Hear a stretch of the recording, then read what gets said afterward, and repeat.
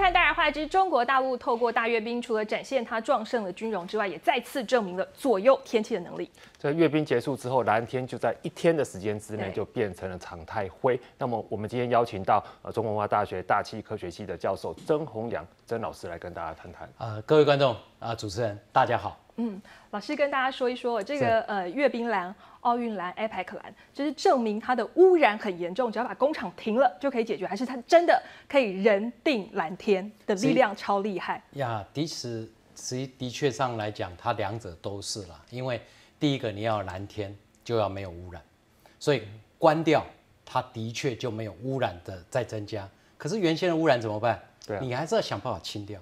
当这两个条件同时成立的时候，那你就会再现蓝天。所以其实它不是左右天气，而是把它现在的那种污染源把它排除掉嘛。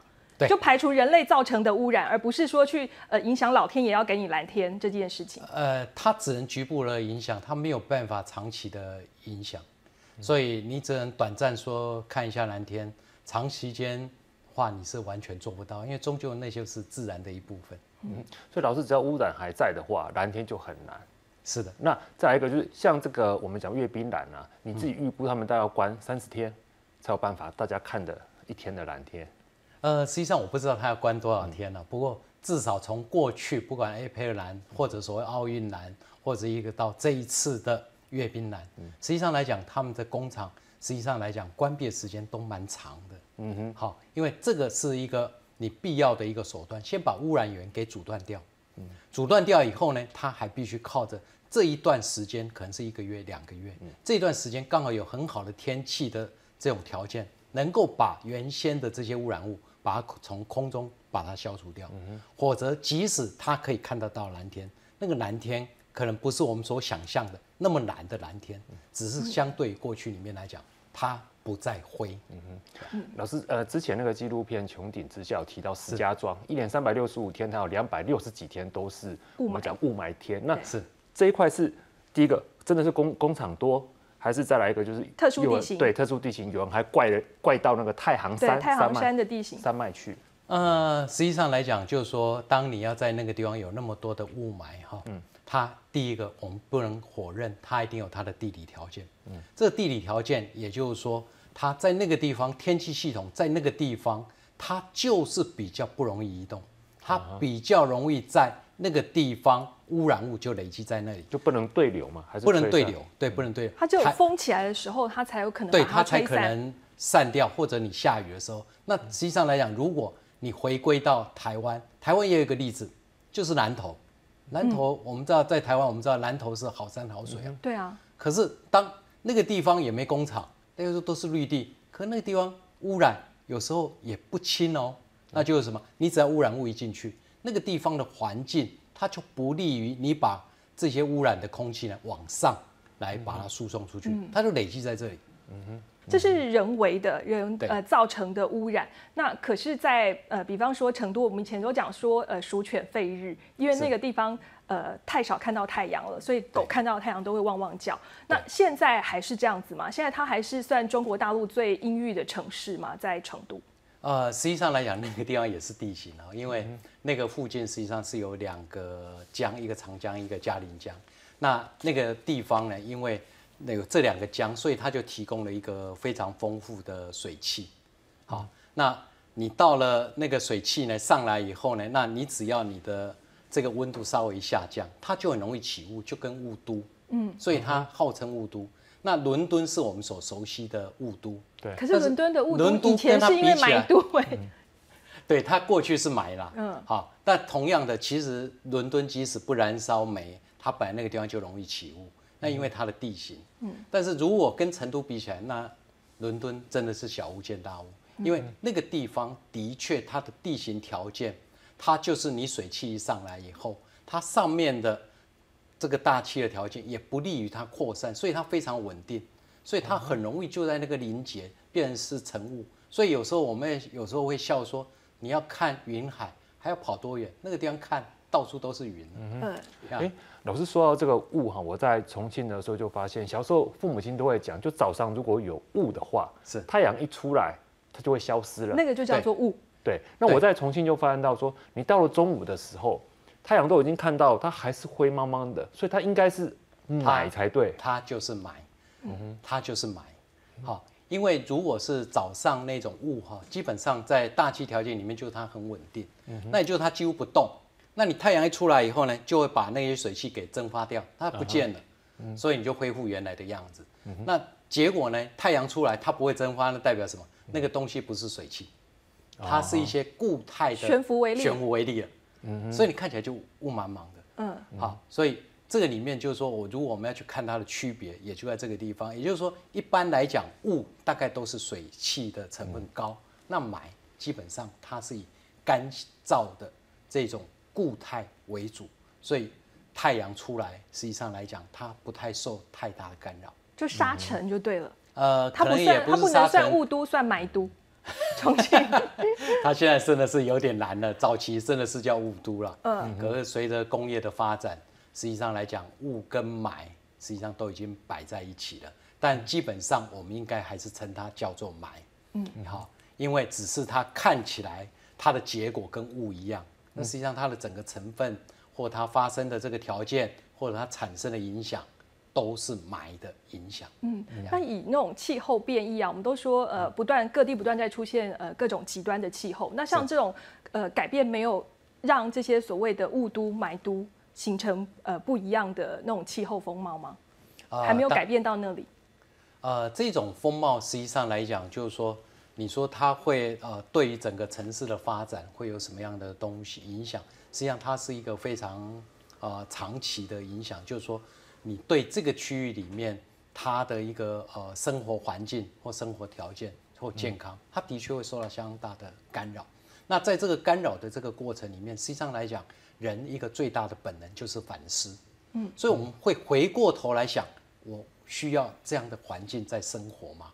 所以我们就会想办法去改善它。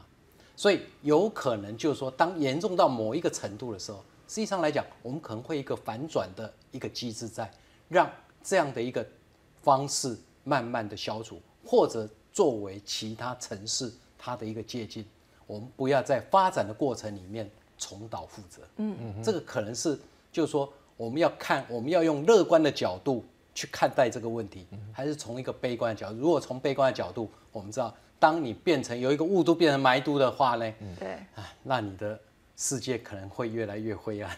嗯。呀，哎，老师再来提到这个拉萨，它这么高，哦，那它的气候特征就是阳光很大，对。可是它好像又很容易下雨。是。那呃，如果拉萨这边也搞工业的话，它可能会变成霾都嘛？拉萨现在是呃，像算是阳光之城、日光之城，因为它日照时间非常长，太阳公公特别认真，每天工作八个小时。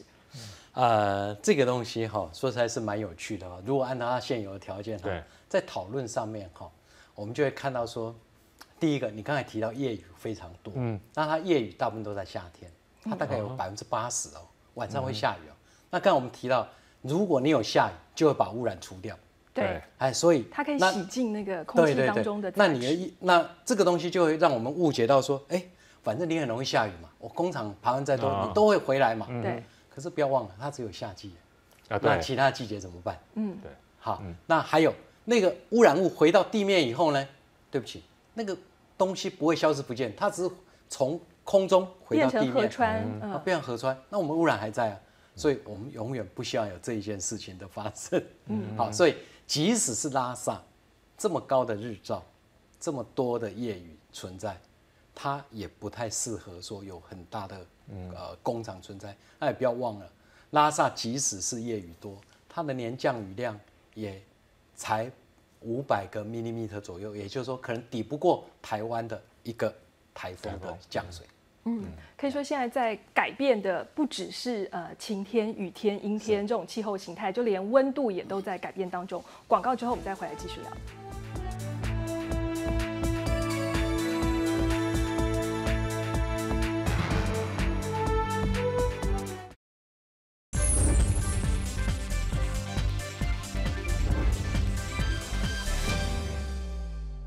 一阵大雨过后，街道怎么都淹起了水。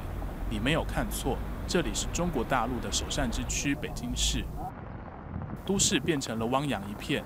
这里是中国大陆的经济中心上海，同样面临了大雨袭击就浸泡在水中的窘境。虹桥机场还一度空港变成了海港，网友就调侃了，在自家门口便能抓鱼、划船、看海。看海一词也成了城市的新景象。全部都在楼楼上，没有一个人敢下楼。那个时候，这个这个水已经淹到淹到我们的马路了一米多高啊，然后这个洪水冲过来的力量那么大，谁敢出来？再往南边走，浙江、福建许多城市逢雨必淹的情节屡屡上演。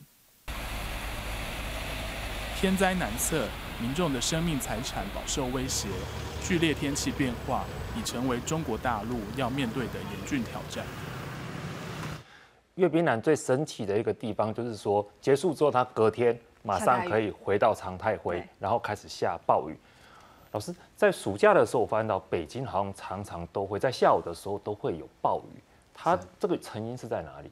呃，实际上来讲，跟我们午后的这个阵雨，实际上原因都很接近。一样是午后雷阵雨嘛？夏天热对流作用。对它热对流的一个作用，好，它比较容易形成。好。那但是北京的这个雷阵雨，刚才在影片中提到说，啊，北京的暴雨，啊，那可能对于台湾的观众里面来讲，那可能就不一样的情况，嗯，因为这个两边的暴雨，它的这个标准是不太一样的，嗯，啊，以我自己的经验里面来看，啊，当有一次我到北京去，那就哎突然下了一场哎还不算小的雨，可是对于台湾来讲呢，它就下了这么。呃，半个小时一个小时，对，哎，你我就开始发觉到说，哎，奇怪，哎，你那个马路上已经淹了，积水，积水就出来了，我就很讶异的看着，怎么会这么一下子就会下雨？可是不要忘了，这个城市它在原始的时候，它的设计的时候，并不是给这么多人住的，嗯，所以相对来讲，它现在排水的系统，它并没有办法承受这么大的一个能力，而且从过去里面来讲。北京它就不是一个非常多雨的城市，所以它在整个的一个设计上面，它并不是为了这能够下这么多的雨而设计的。嗯好，所以啊，这也是给我第一个，就是说，真的是啊，读万卷书，行万里路。我第一次知道说，原来淹水跟不淹水，实际上来讲，不决定于下雨量的多寡，而是决定于下了多少，还有我这个地方。我准备让它下多少？如果我的准备量是不够的，那即使你只下一点点，它还是会淹水。以前我们在呃看到很多大陆的一些洪涝灾害的新闻的时候，其实都是长江发大水，对，就长江水患。可是呃最近这几年，你就会发现，每一次只要到了夏天，碰到呃风雨必涝，就很多城市，那很多网友他们都开玩笑说，A K 组团去看看海，就把那个积水变成海来看，这就在讲了。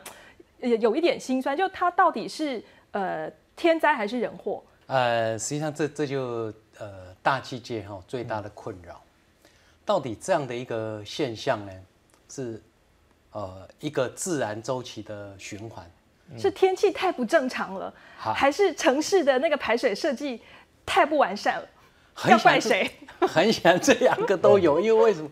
因为。最近的议题就是我们所谓的全球暖化，人为因素对气候的干扰。对，那最近几年呢，又刚好，哎，所有东西都不对劲。那这两个议题如果夹杂在一起，变成是一个很合理的怀疑，是因为这种全球暖化造成这一种剧烈天气的一个变化。嗯，可是这里面到底是真的还是假的？其实上，科学界是还有一些争论。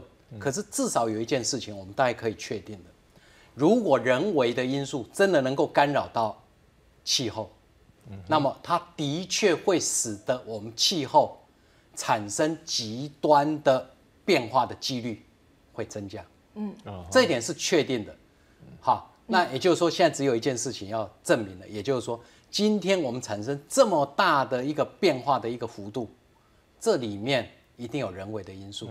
可是人为因素是不是在这个时候就已经出现了，还是它原本？在这一段时间就会出现这么大的一个剧烈变化，这是唯一不知道。但是对我们来讲，对不起，我们只有一件事情是绝对是对的。我们今天要面对的是极端气候的变化，这件事情是对的。也就是说，我们先面对问题，我们再回过头来慢慢讨论谁造成的。嗯，好，哎，老师说到这个气候，像现在大陆火炉越来越多，对，从民国的时候只有三个，现在已经四个、七个到九个，九个。是。那这个火炉大家也在讨论呢，是气候让这个城市变这么热，还是因为它变热了之后，大家开空调让它变得更热？如果我们用这个呃这样的角度来看哈，什么地方哈那个气候会比较热？那大概就是纬度三十度，这个原本原本就是它会热的地方，它就是一个高压下沉的位置。这个地方原本三十度，所以三十度地区实际上来讲是全球里面沙漠。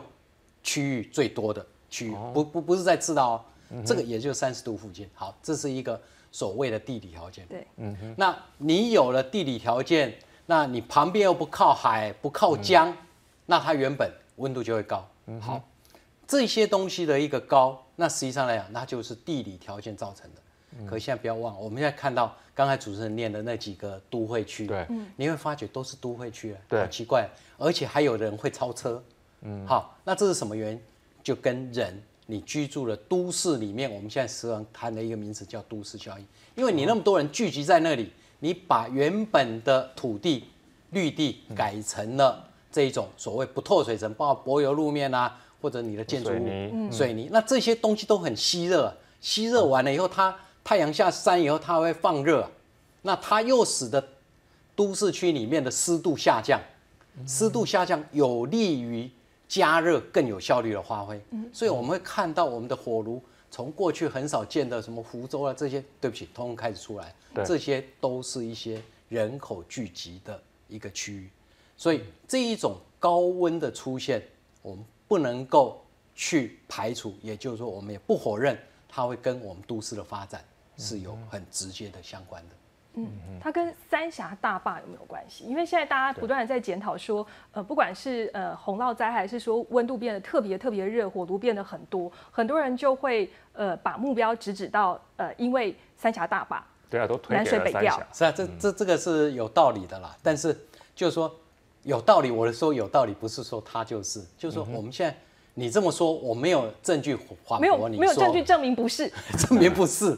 好，但是他的确有这个可能，因为为什么？大概我们可以确认一点，就是说，三峡大坝它让整个河道改了，它又是这么大的面积。嗯，那我们从一个原理上面来讲，你会改变气候的，除了大气原本的条件之外，环境跟你的环境，你的环境是什么？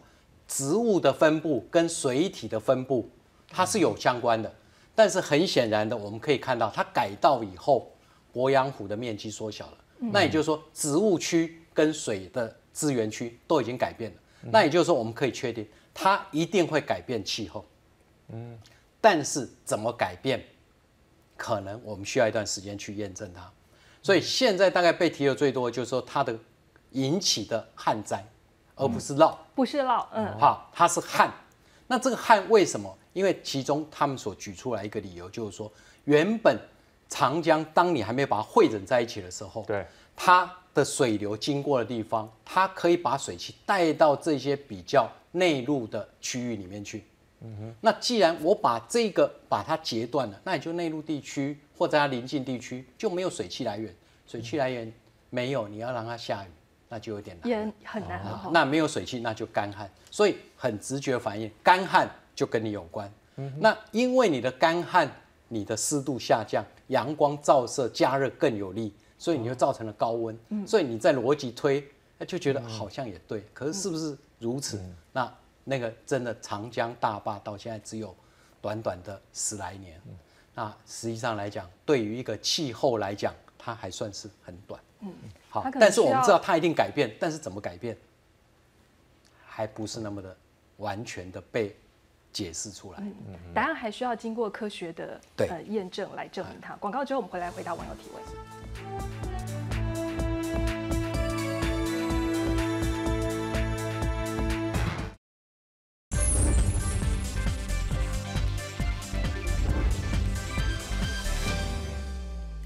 呃，气候可以造就一座城市的繁荣，同样它也可以摧毁一切的文明。而现在这个极端气候让很多人可以说是越来越忧心。网友就问了，他说，在气候极端之下，农民历上的二十四个节气，现在还准吗？老师？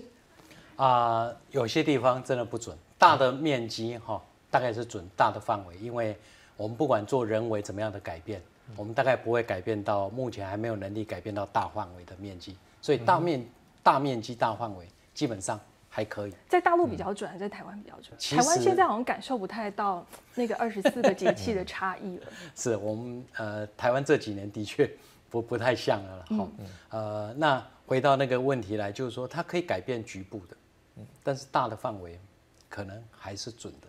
嗯嗯呀，哎，老师再来一个，我们刚刚提到三峡大坝，那现在就是他弄了一个南水北调，那个南方的水调到了北方去，会对北方的气候也产生影响吗？呃，还是对南方的气候产生影响？呃，其实这要看他怎么操作了嗯。因为南水北调基本上哈是说，如果你在满足南方所有灌溉所有的需求用水之外，还有多的往北调，嗯那南方保持原来样子，嗯北方改进，这样不是很好吗？非常理想啊。如果是这样，那万一南方缺水，你还是北调呢？因为你会想说，呃，这个反正这边虽然只有八成，那那边已经缺了太厉害了，我先调三层过去，这边也缺，那边也缺，就平衡一下，哎，那大家都少，那多少了以后，刚才我们提到一个概念，就是说水会改变气候，还有一个就是植物的分布。对，好，那如果你水调到北方，北方有很好的，如果你把它用在农业的方面的话，那它的农业区长起来了，那它也就会改变了当地有了植物，它也就改变了当地的气候。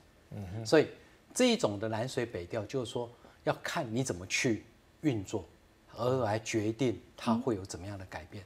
那基本上，如果它做得好的，实际上它都会让我们的气候更适合于人的居住环境。嗯，那像青藏铁路啊、三北防护林这种，也会影响到气候吗？是，还是他们受到气候的影响？你这个问题问的就真的有点深了。